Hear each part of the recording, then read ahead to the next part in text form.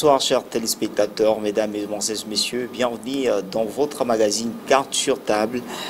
Bien, l'actualité politique euh, reste toujours dominante euh, sur toute l'étendue de la République démocratique du Congo et surtout la nomination d'un Premier ministre, ça fait débat partout.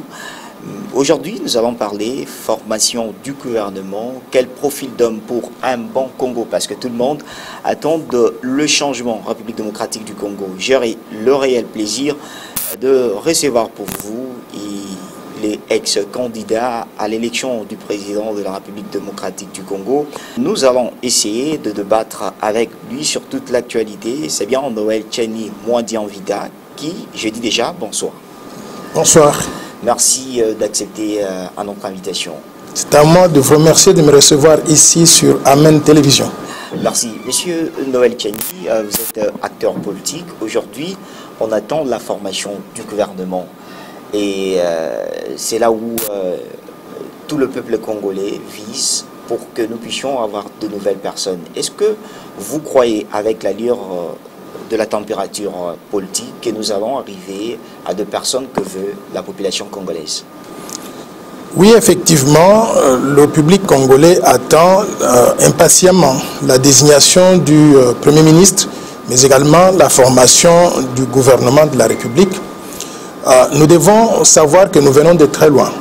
Nous avons été dirigés depuis 1960 jusqu'à ce jour par des gouvernements successifs qui ont fait que le Congo se trouve dans une situation très critique aujourd'hui.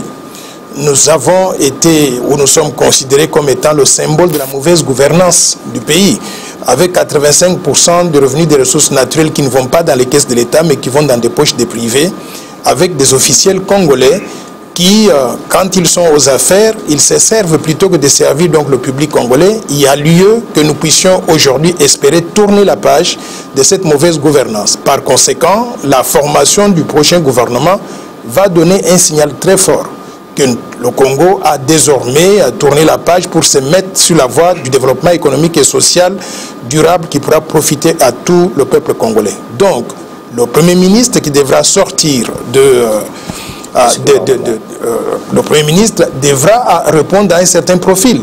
Il doit marquer la rupture par rapport à la mauvaise gouvernance du passé et surtout symboliser le changement positif que veut le peuple congolais. Alors ne, croyez-vous pas que ce Premier ministre qui va provenir euh, du FCC, euh, le FCC composé au moins de, de certaines têtes que la population congolaise ne veut pas encore revoir, est-ce que vous ne voyez pas que Félix Tshisekedi pourrait se voir devant une personne euh, qui pourrait toujours euh, incarner euh, certains problèmes que la population contestait au niveau du FCC. Vous savez, le président de la République a des pouvoirs énormes. Il a des pouvoirs de désigner qui il veut comme étant Premier ministre. Bien sûr qu'il semble être en partenariat avec les gens du Front commun pour le Congo, mais qui ont géré ce pays pendant les 20 dernières années et qui ont plongé le pays donc dans la situation catastrophique où nous trouvons aujourd'hui. Donc la responsabilité du président de la République de désigner un Premier ministre avec qui il se sent en odeur de sainteté pour pouvoir travailler ensemble afin de mettre en œuvre la vision du chef de l'État.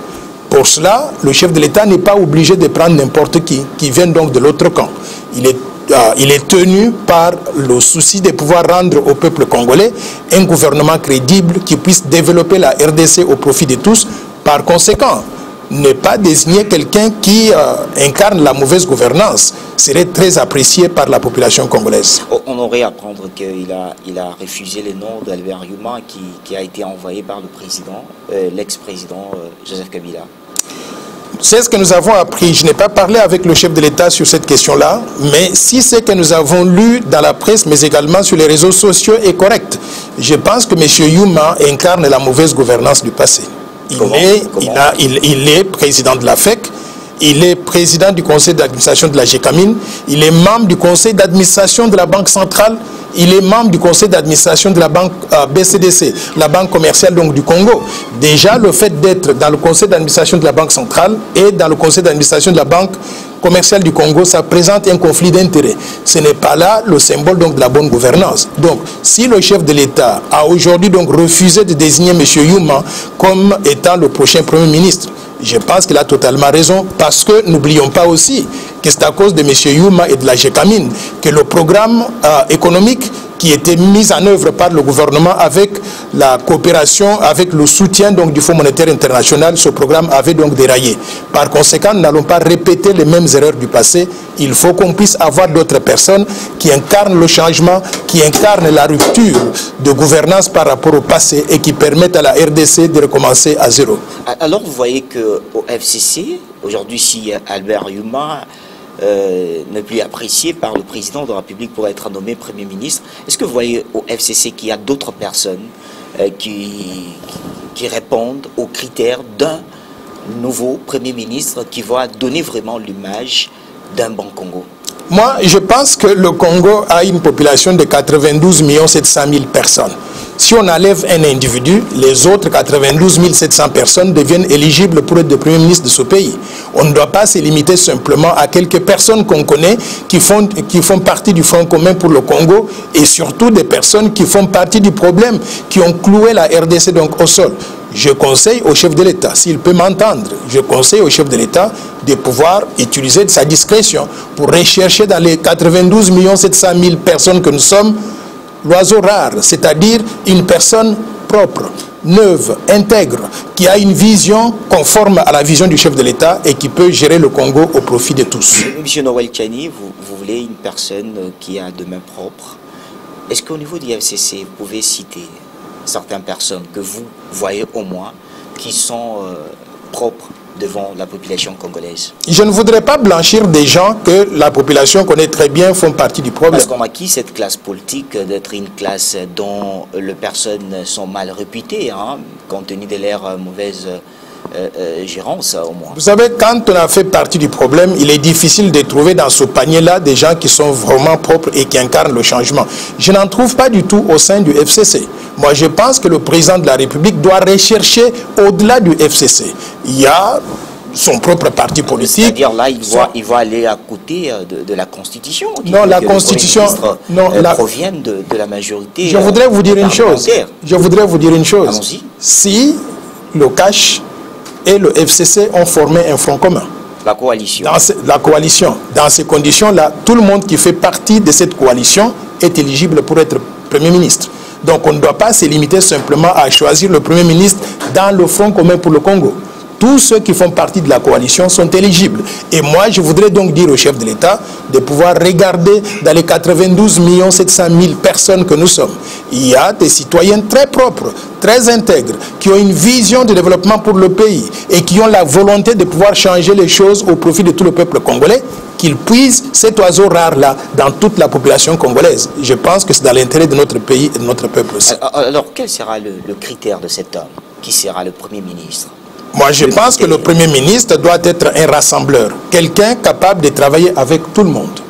Ce doit être quelqu'un qui a une vision de développement pour le Congo, c'est-à-dire quelqu'un qui peut prendre les avantages comparatifs que nous avons, tels que les ressources naturelles, telles que la population diversifiée, telles que l'étendue énorme de notre pays, transformer cela en une richesse que tout le peuple congolais peut donc utiliser et vivre mieux que ce que nous avons vécu jusqu'à présent. Mais ça doit être aussi une personne intègre, capable de pouvoir améliorer la gouvernance. Quelqu'un qui peut donc à partir des ressources naturelles que nous avons, capter toutes les ressources publiques, les mettre dans le budget national, augmenter le budget considérablement et utiliser ces ressources accrues pour financer les différents projets de développement. Quelqu'un qui ne va pas mettre ses intérêts personnels avant l'intérêt général. Donc, si on remplit ces critères-là et qu'on est intègre, qu'on a une vision, qu'on est compétent, qu'on a la capacité donc de rassembler tout le monde, je pense qu'on peut être considéré pour être Premier ministre de la République démocratique du Congo. Alors je pense que le Premier ministre aura aussi à former son gouvernement. Il y aura aussi euh, deux ministères dont on veut avoir de, de nouvelles têtes. Mais je pense déjà une coalition FCC cache.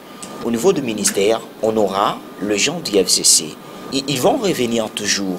Mais vous accusez euh, ces c'est urgent du FCC d'avoir mal géré le pays je ne les accuse pas d'avoir mal géré le pays. C'est un fait. Tout le monde, tous les Congolais et le monde entier savent que le... Tout le monde. Je vais vous dire une chose.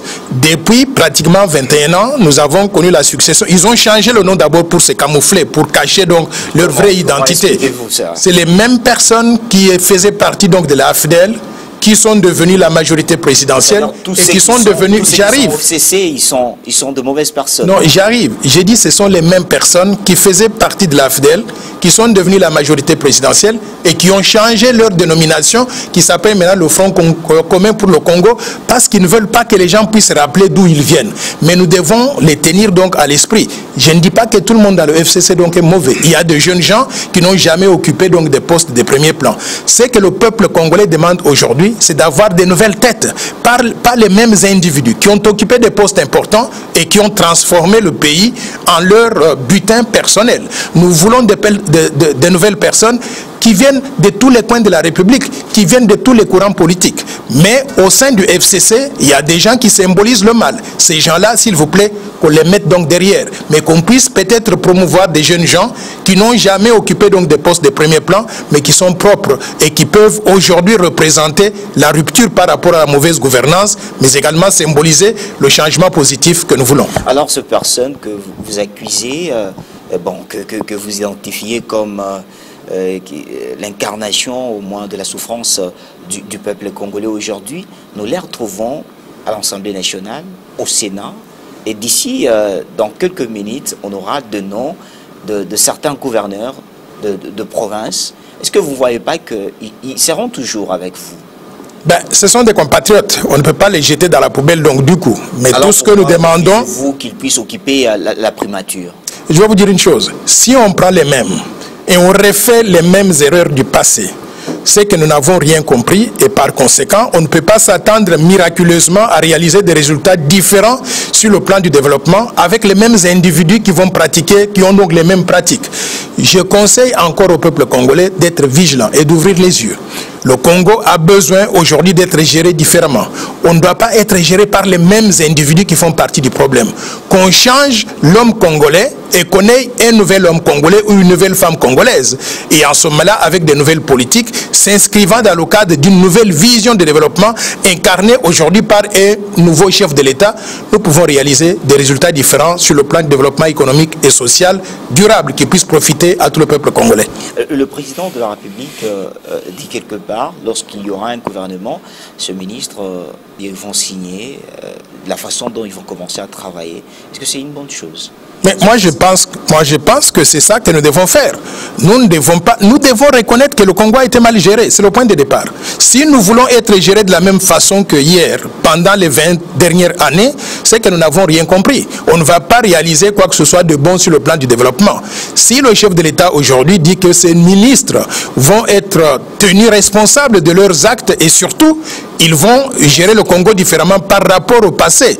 Moi, je pense que c'est sur ce chemin-là que nous devons tous évoluer. Et nous devons les tenir responsables. Nous devons les juger par les résultats. Pas simplement avoir des gens qui s'éternisent au pouvoir et qui sont là pour leur propre intérêt plutôt que pour développer la, la RDC au profit de tout le peuple congolais. Bref, allons de l'avant on peut pardonner à ceux qui ont géré ce pays-là parce que nous ne voulons pas qu'il y ait donc du désordre sur le plan donc de la paix sociale. Mais entre-temps aussi, nous devons gérer le Congo différemment avec des nouvelles personnes, des nouvelles méthodes de gestion et avec une nouvelle vision sur le leadership d'un président de la République qui est différent de ce que nous avons connu jusqu'à présent. Euh, euh, coalition Cash, pensez-vous c'est un bon mariage? Moi, je ne connais pas donc leur arrangement entre le Cash et le FCC si cela ne, dépendait que de moi, je pense que j'aurais exigé purement et simplement qu'on puisse mettre tous ceux qui viennent donc du FCC dans le garage, qu'ils puissent se reposer et qu'on laisse la chance au peuple congolais d'être géré par de nouvelles personnes. Mais si le cash est allé faire donc un mariage donc avec eux, attendons voir comment ce mariage va se dérouler. Et j'espère... L'expérience ne compte pas, hein, l'expérience en matière de, de, de, la gérance hein, politique mais l'expérience, quelle est l'expérience qu'ils ont? La mauvaise expérience. L'expérience donc de corruption, de prédation des ressources naturelles, de détournement des fonds publics, de massacre des fausses communes, c'est ça l'expérience dont le Congo a besoin?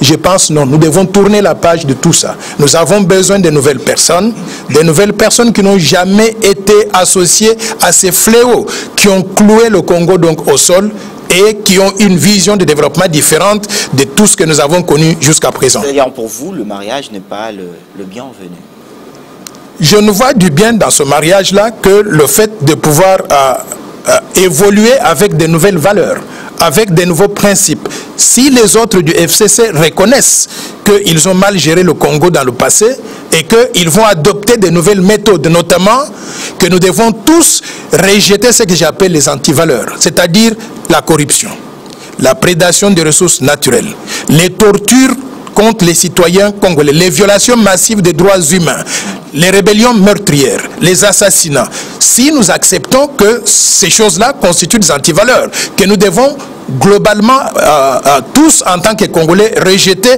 et mettre dans la poubelle de l'histoire, recommencer à zéro avec de nouvelles valeurs. Oui, dans ces conditions, nous pouvons encore pardonner à nos frères et sœurs qui viennent donc du Front, du front commun pour le Congo. Mais s'ils viennent pour défendre les mêmes valeurs qui ont cloué ce Congo donc au sol, je pense que nous allons les juger. La population congolaise va les tenir responsables de tout ce qui, de tout ce qui pourrait arriver à notre pays dans l'avenir.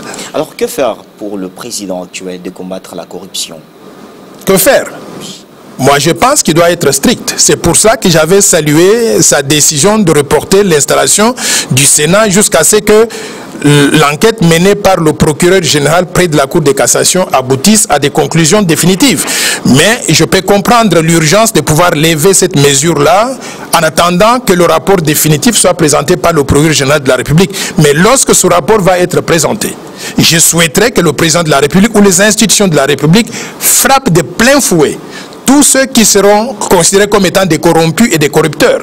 S'il faut sortir, les sortir du Sénat, je crois que cela va aller dans le sens de pouvoir crédibiliser les institutions de la République. Je voudrais aussi que la même logique s'applique au niveau des gouverneurs de province. Parce que l'élection de sénateurs, et l'élection des gouverneurs des provinces suit le même mode de scrutin indirect, c'est-à-dire que ce n'est pas la population qui choisit directement ses sénateurs ou ses gouverneurs de province. Ce sont les députés provinciaux. Et là, au niveau des députés provinciaux, il suffit que le candidat gouverneur ou le candidat sénateur identifie les quatre ou cinq personnes qui vont déterminer son sort pour les soudoyer. Donc, moi, je suggérerais même que nous puissions purifier notre système politique dans l'avenir. Purifier dans le sens de modifier la constitution, modifier la loi électorale pour que tous les officiels congolais, c'est-à-dire président de la République, député national, gouverneur de province et sénateur puissent être choisis d'après le mode de scrutin donc direct où la population choisit directement ses représentants. Au-delà de cela, je voudrais même que nous puissions réfléchir sur une modification de notre appareil institutionnel. Est-ce que nous avons besoin d'un Sénat? Pourquoi? Parce que regardez le Parlement que nous avons donc à deux chambres. Quand il y a un projet de loi, il est proposé au niveau de, la basse chambre, c'est-à-dire au niveau de l'Assemblée nationale. Une fois que le projet de loi est adopté, il va en deuxième lecture au niveau du Sénat. Si le Sénat est d'accord avec l'Assemblée nationale, le projet de loi est approuvé et envoyé au chef de l'État pour promulgation. Mais si jamais il y a des accords entre le Sénat et l'Assemblée nationale, c'est le point de vue de l'Assemblée nationale qui prime. Dans ces conditions-là, moi, je me demande quelle est la valeur ajoutée du Sénat. Considérons purement et simplement l'opportunité de supprimer le Sénat, comme le Sénégal l'a fait, pour que nous puissions réduire le coût, réduire donc les processus bureaucratiques et nous puissions avoir simplement une seule chambre composée de, euh, euh, constituée donc de l'Assemblée nationale et ces gens-là vont représenter valablement le peuple congolais. Nous parlons du Sénat, il y a eu déjà installation. Euh, le président de la République avait d'abord suspendu l'installation, on l'a eu, et aujourd'hui le procureur général est en train d'entamer le processus pour trouver le corrupteur et le corrompu. Est-ce que c'est déjà, euh, la nouvelle est déjà répandue partout au monde que les sénateurs congolais sont corrompus? Mais aujourd'hui, ils sont installés. Quelle euh, leçon Franchement, j'ai regretté le fait que le chef de l'État soit revenu sur cette décision-là. Mais il a des considérations. vous avez, euh, tellement de estime qu'on puisse supprimer moi, je pense qu'il aurait fallu attendre que le procureur général près de la Cour de cassation termine son rapport définitif et rende ce rapport-là public. Alors, les 15, Avant, les 15 j'arrive. allaient aussi, hein, selon la, la Constitution, les 15 jours allaient aussi hein, de passer. Vous ne voyez, vous voyez pas que c'est un problème Et je pense que c'est ça la contrainte que le chef de l'État a eue. Et je peux comprendre cette contrainte-là. Mais entre-temps au- au- aussi, à quoi sert d'avoir un Sénat qui est accusé de corruption et dont la réputation se trouve au plus bas possible. Je pense que nous devons penser à réformer notre système politique parce que le problème que nous avons, ce n'est pas un problème donc du chef de l'État qui a pris du temps pour pouvoir mettre en place donc le gouvernement. C'est un problème donc du système politique qui fait que le Sénat n'a pas de crédibilité et le manque de crédibilité du Sénat entraîne aussi le manque de crédibilité des institutions de la République. Donc, si nous voulons réhabiliter le Congo, recommencer à zéro, nous devons penser à restructurer notre système politique. Je vous dis bien que le Sénat au, Sénégal a été supprimé pour les mêmes considérations. Nous devons considérer donc supprimer aussi le Sénat congolais parce que je ne vois pas de valeur ajoutée par rapport au système actuel. Aujourd'hui, il y a euh, l'élection de gouverneur.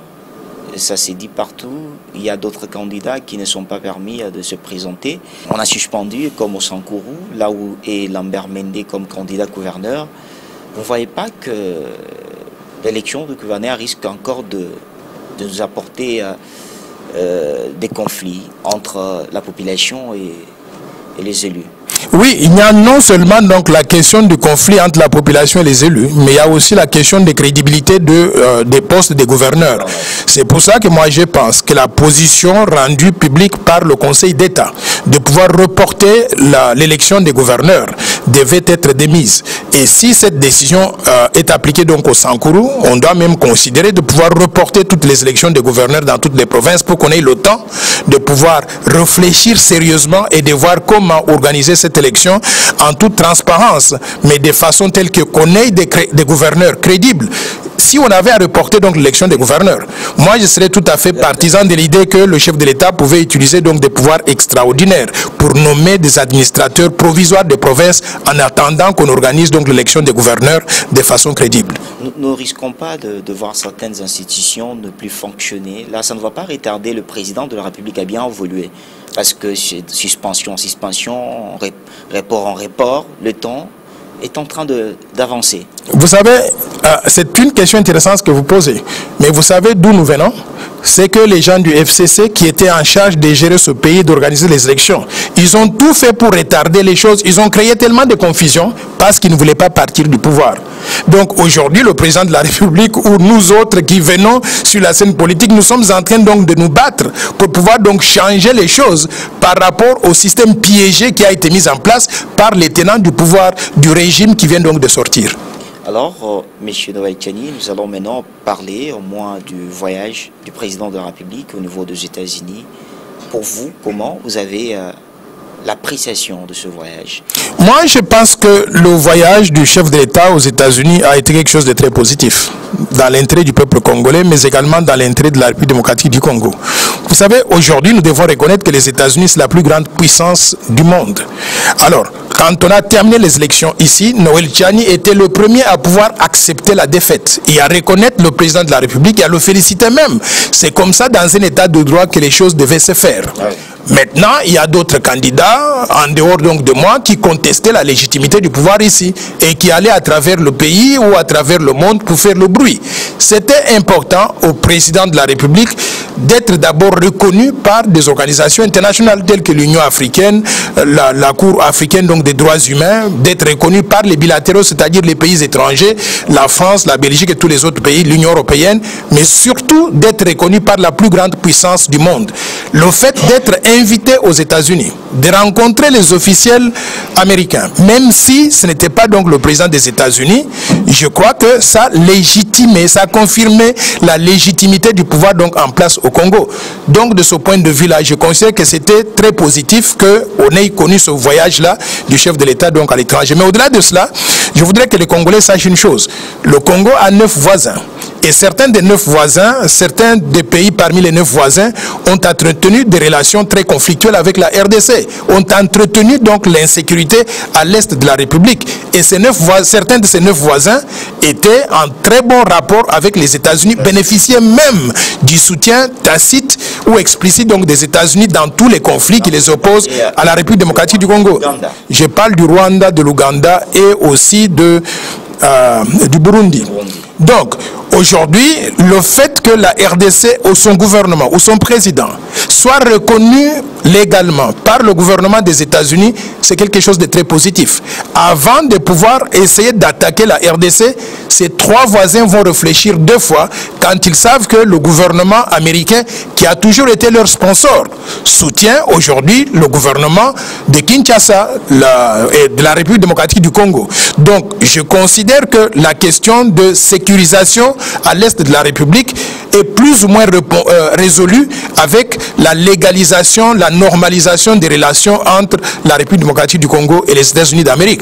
Il y a aussi des retombées économiques qui pourraient venir de là, du fait que si les États-Unis donnent le quitus, qu'ils reconnaissent le gouvernement de Kinshasa, les investisseurs étrangers, à commencer par les investisseurs américains ou les investisseurs donc du reste du monde, se sentiraient très à l'aise de venir investir en République démocratique du Congo. Certains camps euh, pensent que c'est une humiliation. Il n'a pas pu rencontrer son homologue Donald Trump. C'est-à-dire Félix, euh, aujourd'hui, hein, il y a beaucoup de problèmes qui se disent sur ce voyage. Il est allé faire euh, ses déambulés, après retourner, mais ils ne reconnaissent pas le travail qu'il a battu au niveau des États-Unis d'Amérique. Je pense que les gens qui disent des choses comme ça ne connaissent pas les États-Unis d'Amérique. J'ai vécu là-bas pendant pratiquement 40 ans et je connais comment l'administration américaine est structurée. Vous savez, quand vous venez d'un pays comme la RDC, qui n'a pas entretenu donc des relations trop étroites avec les États-Unis pendant euh, plusieurs années, il est mieux de commencer quelque part et d'évoluer en démontrant à la face du monde que vous faites de bonnes choses. Et je voudrais souligner qui, par exemple, le président euh, Tshisekedi a rencontré aux États-Unis, au-delà du secrétaire d'État qui est supposé être le patron de la politique étrangère. Le numéro un d'ailleurs, avant d'arriver chez Donald Trump, il faut passer par le secrétaire d'État américain. Je voudrais attirer donc l'attention des gens que Rick Perry, qui est le secrétaire d'État ou le secrétaire euh, à l'énergie, le ministre de l'énergie en tout cas donc américain. Je voudrais vous dire donc qui il est. Rick Perry était gouverneur de l'État de Texas. C'est l'un des États les plus grands, les plus importants aux États-Unis. Mais surtout, il était candidat à l'élection présidentielle contre Donald Trump.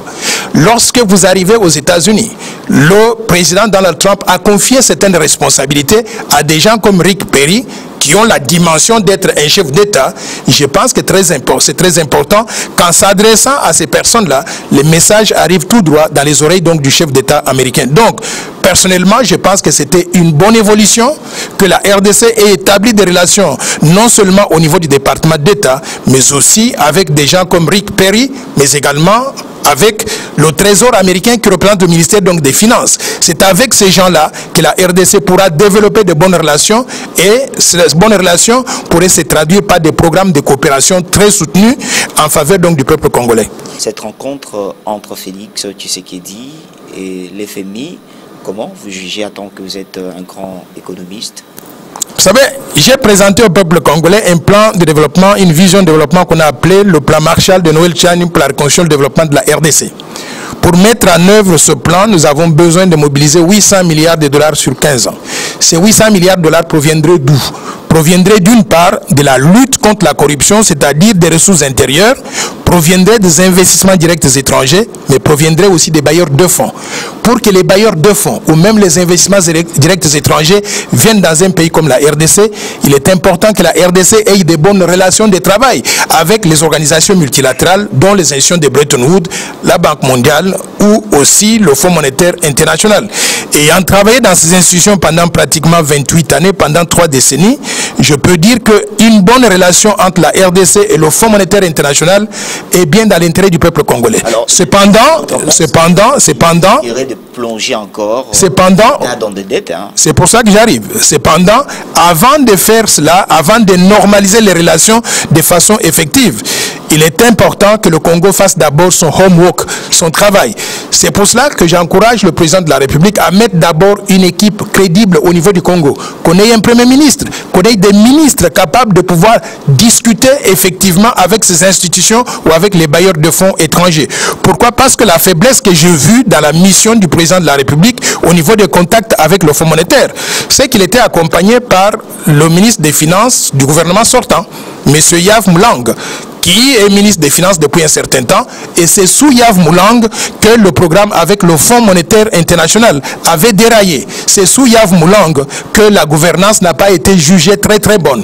Donc, amener la même personne pour symboliser les relations ou la normalisation des relations avec le Fonds monétaire international, je pense que c'est une erreur. Mais je crois que c'est une question de jour. Il faudrait que le chef de l'État mette en place un gouvernement nouveau intègre, crédible, qui symbolise la rupture, par rapport à la mauvaise gouvernance incarnée par le gouvernement sortant et surtout qui symbolise le changement positif que le peuple congolais attend. Euh, dans sa rencontre avec euh, euh, la diaspora congolaise, Félix Tshisekedi, une phrase, il veut déboulonner le système. Effectivement, vous savez... de l'ancien régime. Au niveau du FCC, ça fait débat, une déclaration. Pourquoi le président peut aujourd'hui, avec euh, euh, sa, nouvelle coalition entre FCC Cash, nous dénigrer à l'étranger, voir comme si Kabila, c'est-à-dire incarne le mal? Ben, J'ai suivi avec intérêt la déclaration faite par le Front commun pour le Congo. Et j'étais sidéré que nos amis du Front commun n'ont pas compris que le Congo se trouve dans une euh, euh, période délicate et que nous devons tourner la page par rapport aux antivaleurs. Quelles sont ces antivaleurs-là qui constituent le système politique congolais aujourd'hui? La corruption, la prédation des ressources naturelles, les détournements des fonds publics, les violations massives des droits humains, les euh, assassinats, les fausses communes. Nous avons connu 90 fausses communes dans le Grand Kassai, les fausses communes de Maluku, les charniers humains à l'est de la République. Nous avons connu la police qui tire pour tuer des gens comme les Rossi Manga, les, Rose, les Thérèse Pangala ou aussi mon ami Floribert Chebeya. Tout ça, ça constitue les pratiques d'un régime dictatorial.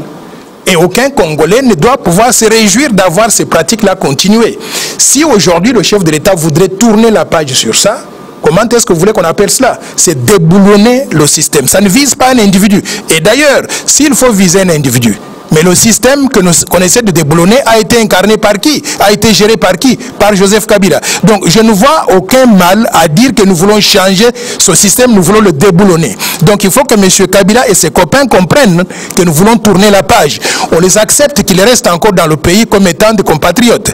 Mais s'ils veulent pérenniser les mêmes antivaleurs, c'est qu'ils n'ont rien compris. En ce moment-là, le peuple congolais devra assumer ses responsabilités dans l'avenir. Mais ce système que vous voulez déboulonner, euh, qui vous a organisé euh, des élections, qui aujourd'hui, Félix Tshisekedi à la tête euh, du pays. Comment est-ce que c'est meilleur de, parler de tel genre de, de, paroles en ce moment où le pays... Euh, je veux que le peuple congolais comprenne, je voudrais que le peuple congolais comprenne une chose. Organiser les élections d'après la Constitution ou d'après la loi électorale, ce n'est pas une faveur que les gens du FCC font au peuple congolais. C'est un droit que nous avons. Et ils auraient dû d'ailleurs organiser ces choses-là, devinez quand? Avant 2016. Ils ont tripatouillé la loi électorale, ils ont retardé les choses et ils nous ont délivré des élections qui, bon, dans la limite du possible, étaient pleines d'imperfections. Mais nous voulons mettre tout ça derrière nous. Il y a toujours moyen de mieux faire. Mais il ne faut pas qu'ils prennent le peuple en otage en disant on a organisé ces élections, par conséquent on doit être reconnaissant à les regards pour qu'ils puissent continuer à entretenir les mêmes antivaleurs qui ont cloué le Congo au sol. Il est temps de tourner la page. Et pour tourner la page, il faut qu'ils reconnaissent qu'il y a un nouveau régime, qu'on le laisse libre de pouvoir fonctionner et que ce régime fasse ce qui est mieux dans l'intérêt du peuple congolais et du pays et aussi dans l'intérêt de eux-mêmes, les gens du FCC, parce que dans un autre régime, ils seraient peut-être donc en fuite aujourd'hui en dehors du Congo. On les accepte qu'ils puissent rester dans le pays, mais qu'on puisse respecter le peuple congolais, la constitution congolaise, les lois du Congo et que nous puissions regarder tous dans l'avenir avec sérénité pour qu'on puisse reconstruire ce pays au profit de tout le monde, y inclus au profit de ces gens du FCC. Est-ce que ça sera une tâche euh, facile pour Félix Tshisekedi au moment où la majorité parlementaire FCC, au Sénat FCC, le président des assemblées provinciaux FCC, attendons voir euh, l'élection de gouverneur? Est-ce que ça sera facile? Il n'y a rien de facile dans le monde. Et moi, je pense que moi, quand j'étais candidat à la présidence de la République, je ne m'attendais pas à ce que je puisse trouver des choses faciles pour gérer donc le pays. Et je pense que Félix Tshisekedi se trouve dans la même situation aujourd'hui.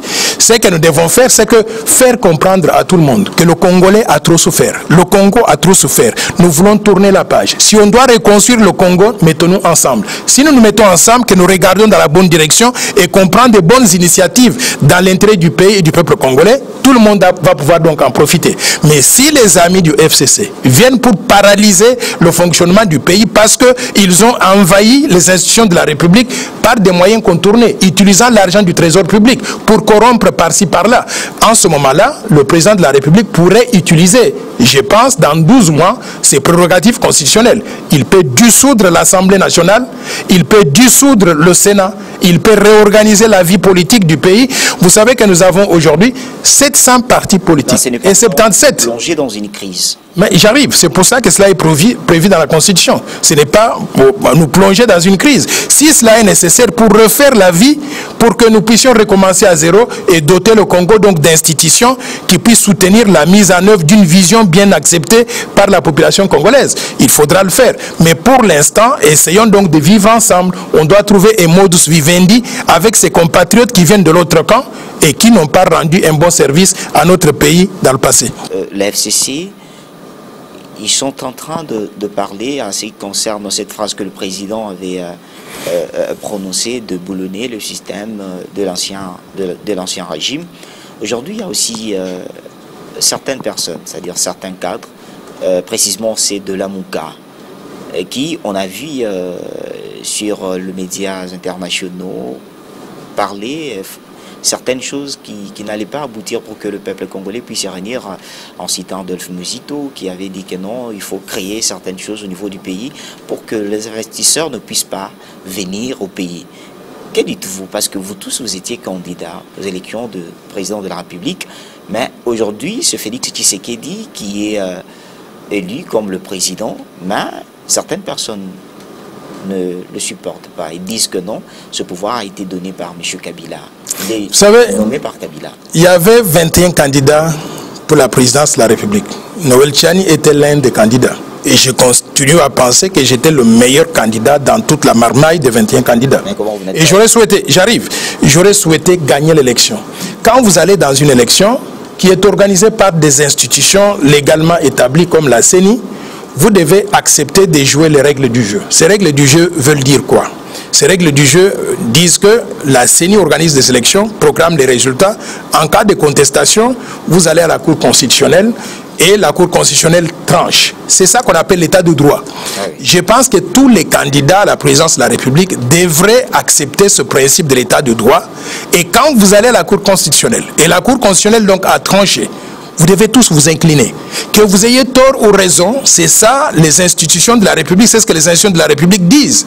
Donc, personnellement, je déplore l'attitude de mon ami personnel, Martin Fayoulou, qui, après que la Cour constitutionnelle soit prononcée, a continué à dire qu'il est président élu de cette République-là. Mais la Cour constitutionnelle a confirmé Félix Antoine Tshisekedi comme étant le président de la République.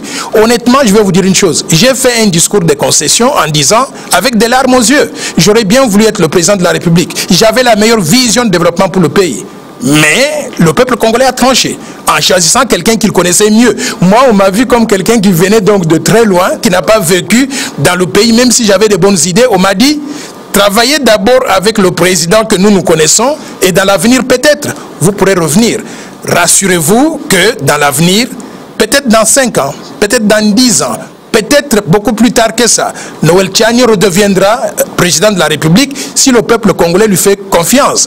Donc j'invite aussi les autres candidats comme les Martin Fayoulou, mon ami personnel aujourd'hui, pasteur Théodore Ngoï, à pouvoir se plier à cette volonté de la Cour constitutionnelle et à se préparer pour l'avenir. Nous sommes encore très jeunes. On ne va pas tout casser parce qu'on n'est pas devenu président de la République. Pas la vérité Alors, des urnes, moi, il réclame la vérité des urnes. Mais la vérité des urnes, c'est... qu'il n'est pas élu, il est juste nommé par... Bon, moi, je ne connais pas ça. Je vais vous dire une chose. La vérité des urnes, moi, telle que je la vois, c'est l'organe qui est chargé d'organiser des élections, la, euh, la CENI, qui a proclamé la vérité des urnes d'après les résultats qu'il avait. Et ces résultats ont été confirmés par la plus haute cour dans le pays, la Cour constitutionnelle. Moi, Noël Chani, comment voulez-vous que je puisse contester cela? C'est ça la vérité des urnes que moi je connais. Et je souhaiterais que tous les autres candidats fassent la même chose. Nous sommes encore très jeunes. Nous avons l'occasion de nous préparer pour l'avenir.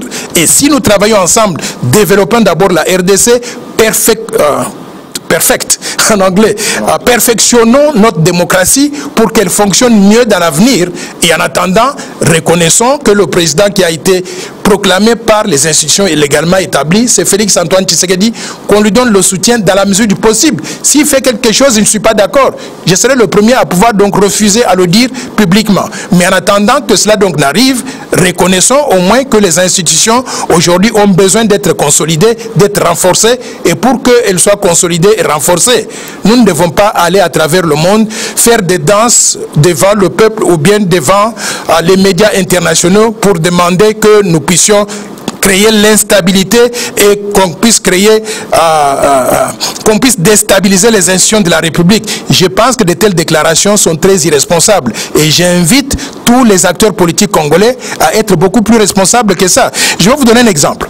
Moi, j'ai vécu aux États-Unis et en Europe pendant 40 ans pendant 40 ans littéralement, dans des démocraties très avancées, je n'ai jamais vu un Américain, ancien candidat à la présidence ou bien ancien ministre, qui vienne dans un pays comme le Congo ou à l'étranger et qui déclare qu'il faut créer l'instabilité aux États-Unis. Les Congolais ne peuvent pas accepter de telles attitudes. C'est irresponsable. J'invite tous les acteurs politiques à travailler pour le Congo, à mettre en avant l'intérêt du peuple congolais plutôt que de viser leurs propres intérêts personnels.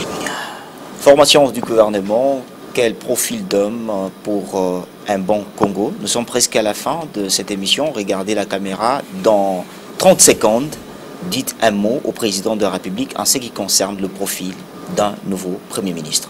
Je pense que le Premier ministre doit être un rassembleur, quelqu'un neuf qui n'a jamais été impliqué dans la mauvaise gouvernance du pays, qui a une vision de développement complémentaire à celle du chef de l'État, mais surtout quelqu'un qui vient avec une expertise, qui peut mettre le Congo au travail pour que nous puissions recommencer donc à zéro. C'est-à-dire quelqu'un qui va symboliser la rupture par rapport à la mauvaise gouvernance, mais également symboliser aussi les changements positifs qu'attend le peuple congolais. Quelqu'un capable de pouvoir mettre en œuvre des réformes structurelles importantes dont le pays a besoin pour que nous puissions nous développer et créer de la richesse pour tout le peuple congolais.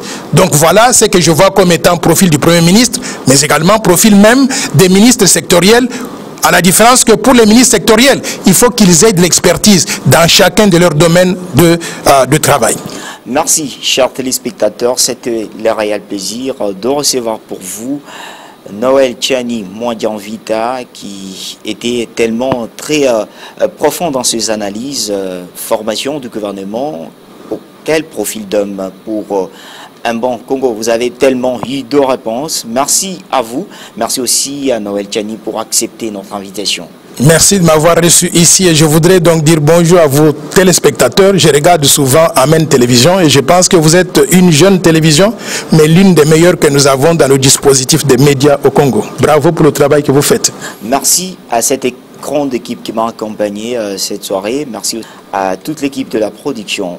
Merci aussi à tous ceux qui nous ont regardés partout en République démocratique du Congo, euh, cette euh, grande équipe euh, rédactionnelle qui, a travaillé cette émission. Je vous fixe un autre rendez-vous, c'est bien la semaine prochaine, avec un nouveau invité sur l'actualité de la République démocratique du Congo. Merci et au prochain numéro.